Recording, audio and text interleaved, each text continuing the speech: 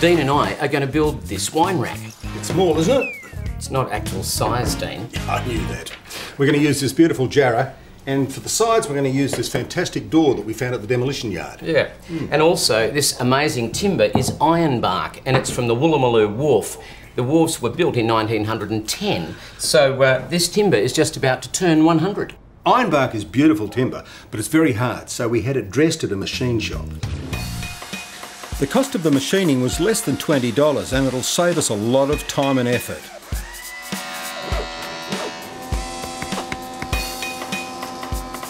Okay, Dean, let's look at the plan. Right, I think we should cut the uprights first, which is out of these, out of the, the 40 jar. by 19s. Yep.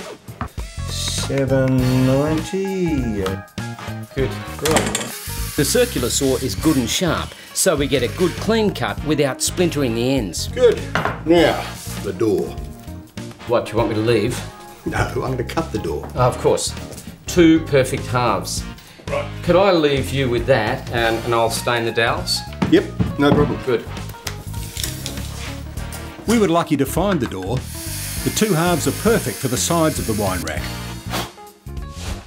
I need to stain the Tassie oak to match the Jarrah.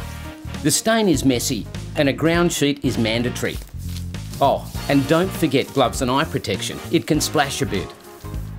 You can do this by wiping it on with a cloth, but I prefer to use the brush.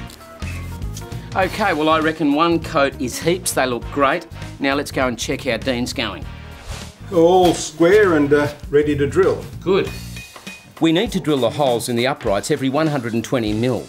So we're using a 20 mil spade bit, so the 19 mil dowels will slide in easily.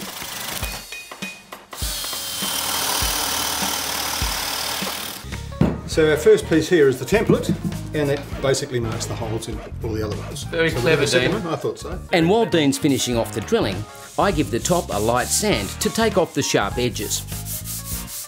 After the material's been planed, the edges of this very hard timber are potentially splinter hazards, so I need to fix that.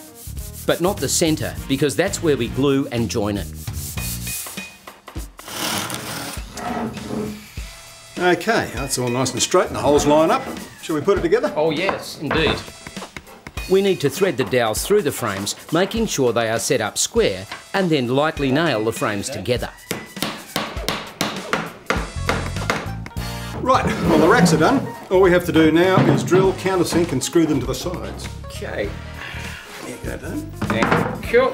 We screw the end uprights to the halved door, and our wine rack starts to take shape.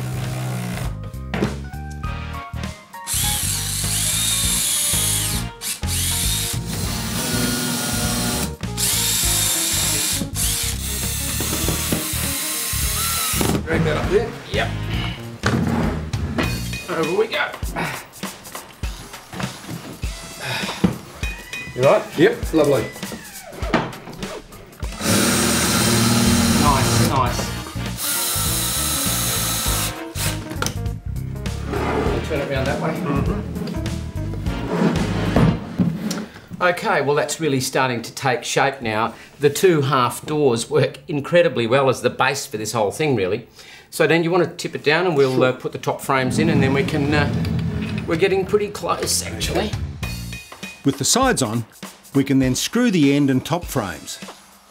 We don't want a back on the wine rack because the air should be allowed to flow and circulate around the bottles. Once we have the sides and inner frames in place, we can attach the beautiful ironbark top. Yeah, bit of glue, please. Yep. Okay, now we're going to glue and clamp the iron bark. So it uh, it won't need a lot because it's machined beautifully. It fits perfectly. Thank you, sir. Sort of. We're going to put some 45 millimeter screws into the underside of the top once the glue is dry. We don't want to spoil the look of the timber with screw heads showing. No worries. Okay, and down we go. You got your clamps there, old buddy? Absolutely. Let's just line it up. That's good. Well, it works. Of course it works, Dean. Leave nothing to chance, that's what I say. No. I mean, yes. Do you bring the wine? Oh, actually, I've got one I prepared earlier. Well, Aww. So there we have it. A fairly simple project, and our very attractive Woolloomooloo wine rack will hold 30 bottles of wine. that's two and a half dozen. Yes, it is.